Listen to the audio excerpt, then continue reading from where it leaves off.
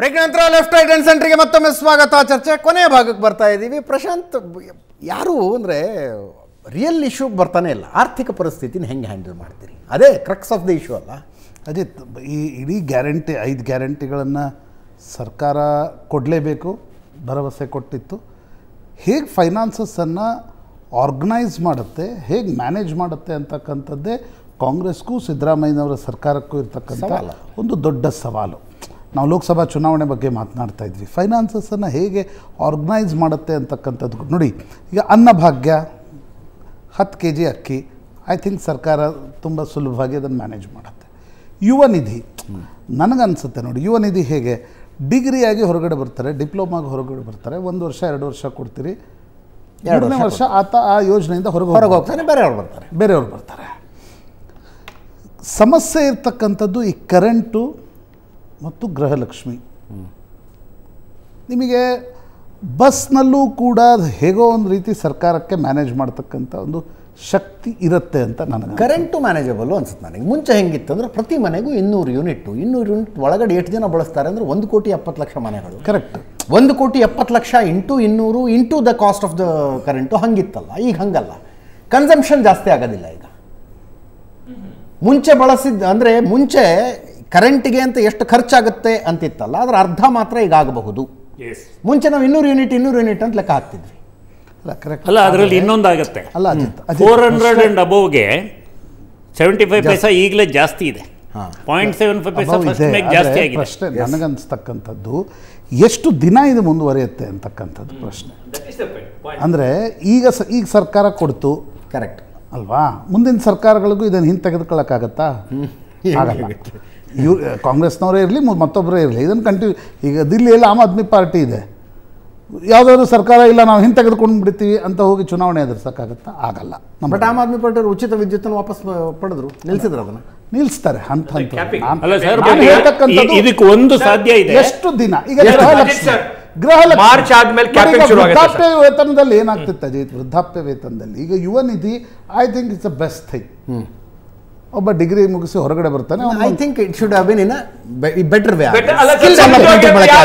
ಇರ್ಲಿ. ಈಗ. ಗೃಹಲಕ್ಷ್ಮಿ. ಕರೆಕ್ಟ್ ನೀವು ಎಷ್ಟು ದಿನ ಎಷ್ಟು ದಿನ ಕೊಡ್ತೀರಿ? ವೃದ್ಧಾಪ್ಯ ವೇತನದಲ್ಲಿ ಅರವತ್ತರ ನಂತರ ಶಿ ಇಸ್ ಎಲಿಜಿಬಲ್ ಎಷ್ಟು ವರ್ಷ ಬದುಕ್ತಾರೆ? ಬದುಕ ನಂತರ ಹೋಗ್ತಾರೆ ಮತ್ತೆ ಹೊಸಬ್ರು ಬರ್ತಾರೆ. ಇಲ್ಲಿ ಹಾಗಲ್ಲ. ಇಲ್ಲಿ ನಿಮಗೆ she will take benefits from next ನೀವು ಎಷ್ಟು ದಿನ ಅದನ್ನು ಕೊಡ್ತೀರಿ ಅಂತಕ್ಕಂಥದ್ದರ ಬಗ್ಗೆನೇ ನನಗೆ ನನಗೊಂದು ರೀತಿಯಾಗಿರ್ತಕ್ಕಂಥ ಸಂದೇಹಗಳಿವೆ. ಆರ್ಥಿಕ ಮ್ಯಾನೇಜ್ಮೆಂಟ್ನ ಪ್ರಶ್ನೆ ಬರ್ತಕ್ಕಂಥದ್ದು ಅವಾಗ. Yes and this is a legitimate concern Of definitely yes. ಈಗ ಎರಡು ವಿಚಾರ. ಒಂದು, ಅನ್ನಭಾಗ್ಯ ಲಾಸ್ಟ್ ಟೈಮ್ ನಾವು ಕೊಟ್ಟಾಗ ಭಾಳಷ್ಟು ಜನ ಟೀಕೆ ಮಾಡಿದ್ರು. ನಾನು ಹೇಳ್ತಿರೋದು ನಮ್ಮ ಗೊತ್ತಿರೋ ಸ್ನೇಹ ಬಳಗದಲ್ಲಾಗಿರ್ಬೋದು ರಿಲೇಷನಲ್ಲಿ ಫ್ರೆಂಡ್ಸ್ಗಳಲ್ಲಿ ಈ ಥರದ್ದೊಂದು ವಿಚಾರ ನಡೀತಾ ಇತ್ತು. ನೀವು ಜನರಿಗೆ ಅಕ್ಕಿ ಕೊಟ್ಟು ಲೇಜಿ ಮಾಡ್ತಾ ಇದ್ದೀರಿ ಅಂತ ನಾನು ಅವತ್ತು ಹೇಳಿದ್ದೀನಿ, ಇವತ್ತು ಹೇಳ್ತೀನಿ, ನಾಳೆನೂ ಹೇಳ್ತೀನಿ. ಅದೇ ಐದು ಕೆ ಜಿನೋ ಏಳು ಕೆ ಜಿನೋ ಅಕ್ಕಿ ನೀನು ಕೊಡ್ತೀನಪ್ಪ. ನಿನಗೆ ಬದುಕಕ್ಕಾಗತ್ತಾ?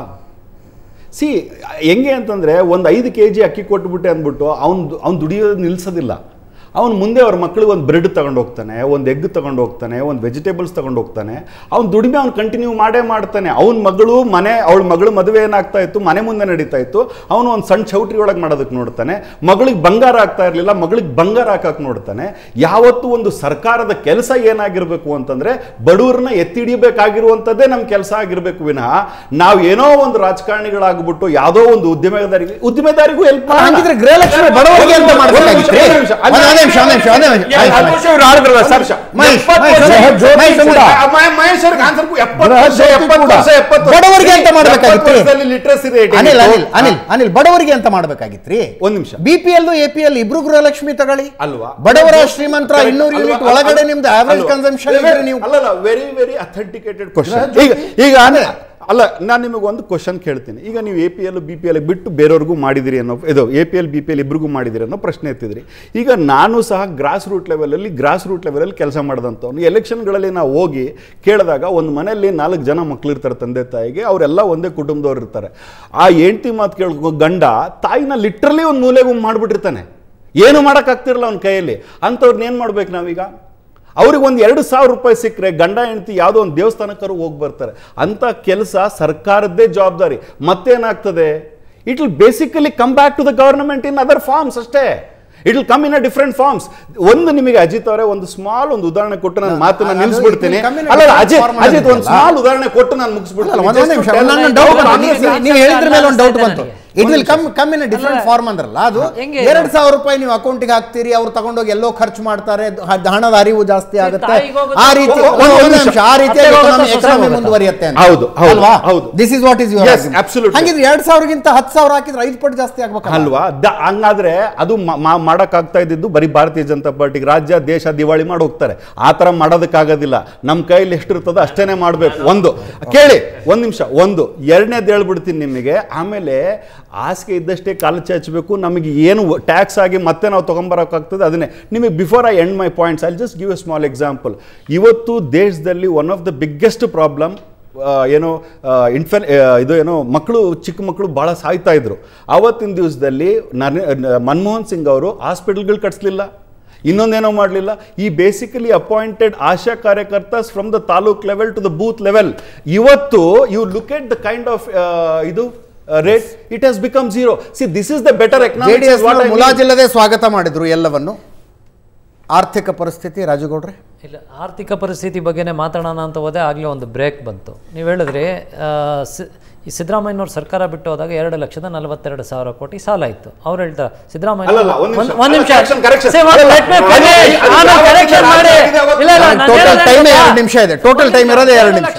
ಸಾವಿರ ಕೋಟಿ ಸಾಲ ಇತ್ತು. ಒಂದು ಲಕ್ಷದ ನಾಲ್ಕು ಸಾವಿರ ಕೋಟಿ ಸಿದ್ದರಾಮಯ್ಯನವ್ರು ಮಾಡಿದ್ರು. ಅದರಿಂದ ಆಚೆಗೆ ಬಂದ್ರಿ. ಈಗ ಐದು ಲಕ್ಷದ ಎಪ್ಪತ್ತಾರು ಸಾವಿರ ಕೋಟಿ ಸಾಲ ಇದೆ. ಈ ಮುಂದಿನ ದಿನಗಳಲ್ಲಿ ನೀವು ಇದನ್ನ ಯಾವ ರೀತಿ ಅಲೋಕೇಶನ್ ಮಾಡ್ತೀರಿ? ಇವ್ರು ಹೇಳ್ತಾರೆ ಬರುವ ಬರೀ ಅರವತ್ತು ಸಾವಿರ ಕೋಟಿ ಸಾಕು ಅಂತ ಹೇಳ್ತಾ ಇದ್ದಾರೆ. ಗೃಹಲಕ್ಷ್ಮಿ ಯೋಜನೆಗೆ ಹತ್ತತ್ರ ನಿಮಗೆ ಇಪ್ಪತ್ತೈದು ಸಾವಿರ ಕೋಟಿವರೆಗೂ ಬರ್ತದೆ. ಹೆಂಗೆ? ಹೇಳಿ ನೀವೇ. ಹೆಂಗೆ? ಎರಡ್ ಸಾವಿರ? ಎರಡ್ ಸಾವಿರ? ಹೇಳಿ. ಎಷ್ಟು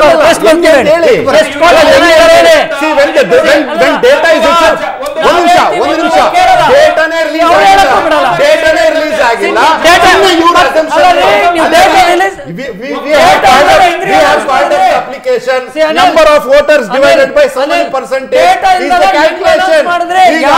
ಈಗ ಎರಡು ಕೋಟಿ ಕೋಟಿ ಎರಡು ಹೇಳ್ತೀರಿ ಕೋಟಿ ಅರವತ್ತು ಲಕ್ಷದ ಅನಿಲ್. ನಲವತ್ತೈದು ಸಾವಿರದ ನಾನೂರ. ಮೂವತ್ತೆಂಟು ಜನ ಫಿಮೇಲ್ ವೋಟರ್ಸ್ ಇದ್ದಾರೆ ಈ ರಾಜ್ಯದಲ್ಲಿ. ಅದರಲ್ಲಿ ಮಾಡ್ಕೊಂತ ಬಂದ್ರೆ very very minimal number of people who are going to come in to the accountability ಒಂದು. ನೀವು ಒಂದ್ ನಿಮಿಷ ನೀವು ಮಾತ್- ಮಾತಾಡೋದಕ್ಕೆ ನಾಲ್ಕು ಜನಕ್ಕೆ ಸಿಗುತ್ತಾ ಸಿಗಲ್ಲ. ಒಂದ್ ಮನೆಯೊಳಗೆ ಒಬ್ರಿಗೆ ಸಿಗೋದು. ಜಯವಾಗಲಿ ಜಯವಾಗಲಿ. Thank you thank you so much ನಾಲ್ಕು ಜನರಿಗೂ ಧನ್ಯವಾದ. Thank you Prashant. ಇದರೊಂದಿಗೆ ಇವತ್ತಿನ ಲೆಫ್ಟ್ ರೈಟ್ ಹ್ಯಾಂಡ್ ಸೆಂಟರ್ ಮುಗಿಸ್ತಾ ಇದ್ದೀನಿ. ನೇರ ದಿಟ್ಟ ನಿರಂತರ ಸುದ್ದಿಗಾಗಿ ನೋಡ್ತಾ ಇರಿ Asianet Suvarna news.